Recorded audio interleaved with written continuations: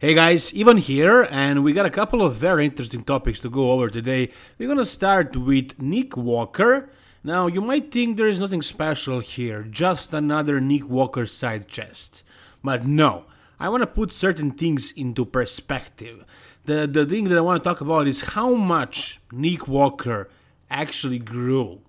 Now, you guys all know that the reason why he lost that Arnold Classic, like probably one of the main reasons was uh, the lack of fullness, especially in the legs.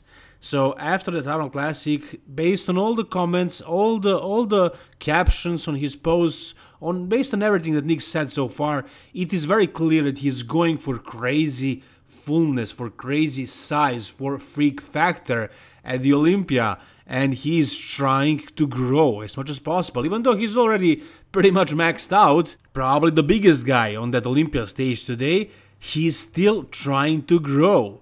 The question is, is he succeeding? Well, in this physique update, in this side chest right here, you can see that he is in a very good condition, right? I mean, he's very lean. I mean, look at the hamstrings and the glutes, look at the quads.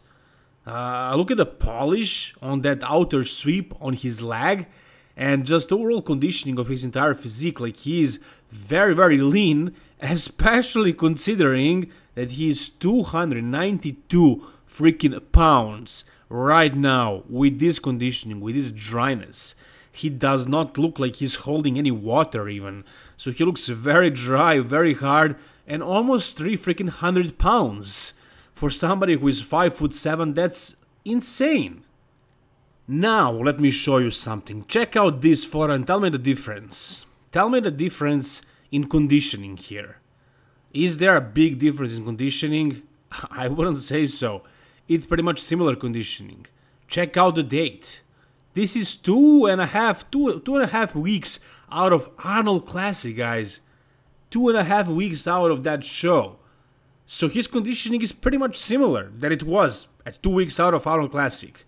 What was his weight at the time? He didn't specify in this post, but based on the other posts that were like a week before or a week after, I'm guessing he was around 260 something. 265 max, he definitely wasn't 270. And now, he's 292.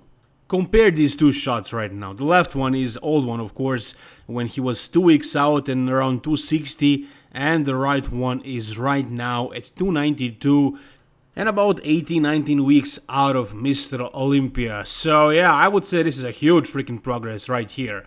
I would say that he made tremendous amount of progress. I mean, maybe he was a little bit flat for the Arnold, and you can see it here in this photo. And yeah, the conditioning is a little bit better. So, I mean, if he was 262 and now he's 292, that's 30 pounds. Let's say that he's a little bit sharper on the foot on the left, and maybe he's dehydrated a little and flat. So let's say he did not gain 30 pounds of muscle. Then how much muscle did he gain? 20 pounds? Come on, come on, no way he gained 20 pounds in a couple of months. That's impossible, no. 15 pounds? 10 pounds? Well, okay, let's say it's 10 pounds. Even though he's 30 pounds heavier with pretty much the same conditioning, but let's say it's unrealistic. Maybe he's just holding a lot of water, a lot of bloat, and uh, yeah, I don't know. Uh, it's obviously the same spot. You can see that it's the same lighting, the same pose, everything is the same. The conditioning is almost the same. But again, it can be 30 pounds. I don't think it can be 20 pounds. But if it is 10 pounds, guys, for a guy on that level who is that big already to gain 10 pounds in a couple of months in a post show rebound, I mean, that would be insane. That would be ridiculous. That would look crazy on stage. But personally, I believe he gained more. I know how impossible it sounds, but it looks to me like he gained at least 15 pounds of whatever. Like he looks 15 pounds bigger. So yeah, I'm really curious to see what he's gonna bring at the Olympia and how much more progress he's gonna be able to make. I'm sure he will keep on growing because like again, his conditioning is two, three weeks out, four weeks out max. So he doesn't need to diet down for the next 18, 19 weeks. He can just keep on growing, you know, growing to the show, and uh, at the very end, maybe cut down, get completely shredded, diced, and dominate. Man, I don't know what's gonna happen at this Mr. Olympia. It's gonna be very interesting. Uh, personally, I have Derek and Samson in my top two. Hadi is there in the mix, but based on the way Nick is progressing, and I mean, I don't know, I don't know. It's gonna be very, very interesting, Mr. Olympia. What do you guys think? Do you think Nick Walker actually has a chance of winning based on freak factor? Because I gotta tell you one thing, he's going to be enormous at that Olympia. And if you guys are trying to grow, the best way to grow is to make sure that you are anabolic all the time, that you're not catabolic. And this is one of the best things to prevent catabolism. Uh, it is actually a vintage build, which is BCAAs, creatine, and glutamine all in one with an amazing flavor. This is a new flavor, black cherry. I mean, it tastes amazing. Old School Labs is coming out with all different flavors of all the products. You can try whichever one you like and let me know on IG on my Instagram how you liked it. If you didn't like it, you can return it and get your money back. But I promise you're gonna love this and it's gonna be very beneficial for your growth.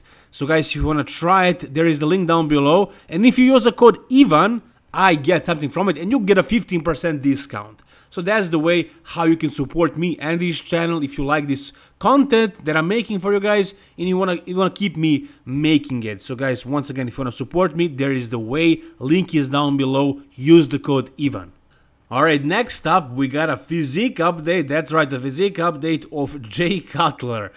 And based on the number of likes that he has on that post, I'm sure you all have seen that on his Instagram. But let's go over this video real quick and let's analyze what we got here. Now, Jay Cutler, I, I don't think he's preparing for the Masters Olympia. Uh, in fact, he did say that he's preparing for uh, his 50th birthday. He wants to be fit for 50, and uh, yeah, I gotta say, he's way more than fit. He's pretty much jacked.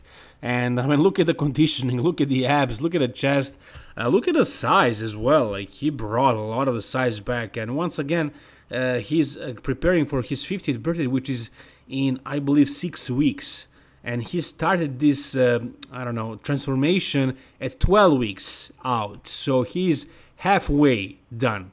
So he did this in six weeks, and he has another six weeks. And I, I don't know what he's gonna do. He talked about uh, this uh, transformation on his podcast with Milos Sarcev, and Milos was kind of advising him to do it a little bit more extreme, like to uh, start using more uh, gear, but uh, he he said he doesn't want to do it that way. He said he wanted to uh, just you know do TRT and maybe just maybe another thing, something really mild. He didn't want to do it with a lot of a lot of gear. Uh, so yeah, I believe he's not on a lot of stuff here, and maybe he decides to do more stuff if he wants to get you know really really jacked. Now once again, he's 49. He's almost 50, so you know, Dexter Jackson competed very successfully when he was 49. And I know it doesn't make sense to compare anybody to Dexter, to freaking Vampire.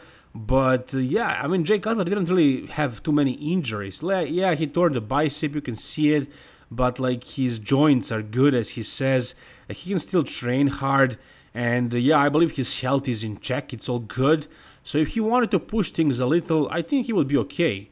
I don't know what his priorities are right now, what his goals are. I mean, he already looks amazing right here, but if he wanted to take it up a notch, he could probably do the Masters Olympia and do pretty well. I mean, I don't know who else is doing that show, but yeah, Jay Cutler is looking amazing right now. And I am surprised. I didn't think he was going to take this this seriously. Okay, next we got a little physique update of Quint Beastwood, or uh, Quinton Eriya. Now, this guy is talked about as one of the potential uh, like future Mr. Olympias, uh, future next Ronnie Coleman, the next big thing. Uh, he's a taller guy. I believe he's over six foot and like he's really big, really heavy. Uh, he's like in the ballpark of uh, Andrew Jacked as far as height, as far as frame, maybe Samson Dauda. Uh, so if that changes, if the new era of bodybuilders, you know, become taller, uh, more aesthetic, uh, more classic-looking bodybuilders, like if Samson wins the Olympia and Andrew Jacked places very highly, and uh, then you have Quint as well, then maybe he's gonna do well in the future. But if if the criteria stays the way it was so far, like if the mass monsters keep winning, if uh, somebody as blocky as Nick Walker wins or Hadi stays the champ or even Derek Lunsford, who is super, super masculine right now, if he wins, I, I don't know if that's the criteria. I, I don't think Quint, Quint Beastwood is ready to do that well yet. Uh, I think soon he's gonna start dieting down. Uh, he says here, soon the world will know. So yeah, I'm. I mean, he did, he did skip uh, this year. He didn't compete, so he took some time off. Like he had a longer off season in order to grow. Did he grow? I mean, I don't know. Maybe, maybe yeah, but there are still gaps in this physique. Like, yeah, he has really good legs. When he's shredded, his legs are looking good. Uh, he has crazy outer sweep, so genetically he has really good legs. But I would still like to see more leg thickness. I would like to see more adductors. Uh, in the upper body, like I don't like the gap between his lats and his arms. Derek Lunsford doesn't have that. And now we're like also his limbs like he's not just legs but his uh, arms as well. Like he has big arms but for that frame he still needs to pack on more tissue. So yeah i mean he he should compete. He should show us what he's got and uh, like last year when he competed he was kind of close to winning a pro show but not really he wasn't really able to win a pro show and qualify for the mr olympia but uh, can he do it now? Maybe, maybe there is a possibility. But even if he wins a Pro Show and qualifies for the Olympia, I don't think he has a chance of placing at the Olympia. So I think it's going to take him a little bit more, a little bit longer, a little bit more time uh, before he actually cracks it, before he actually brings his uh, absolute best, his maximum potential. It's to take a while, really. And the thing is, he's very young. I believe he's like 26, 27, 27 maybe, something like that. So he's very young and like there is a bright future ahead of him. But if you ask me, what can he do this year if he competes?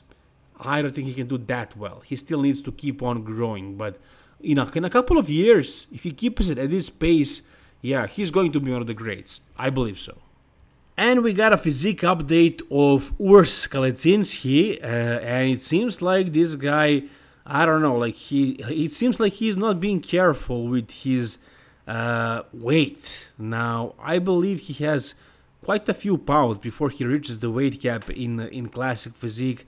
I mean, not quite a few, but maybe like six, seven pounds. And at this point, as you can see, he is pretty massive at like 18 weeks out of Mr. Olympia. And uh, I think he gained a lot of tissue, a lot of muscle in his legs that were already his strongest point. As far as the upper body, yeah, I think everything grew. I think everything is bigger, but I think his legs are a little bit too dominant right now. He he looks like Tom Platz, man.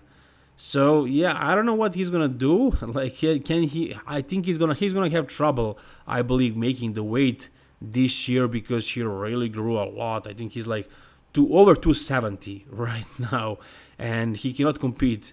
Uh, I think his weight cap is around 225, something like that.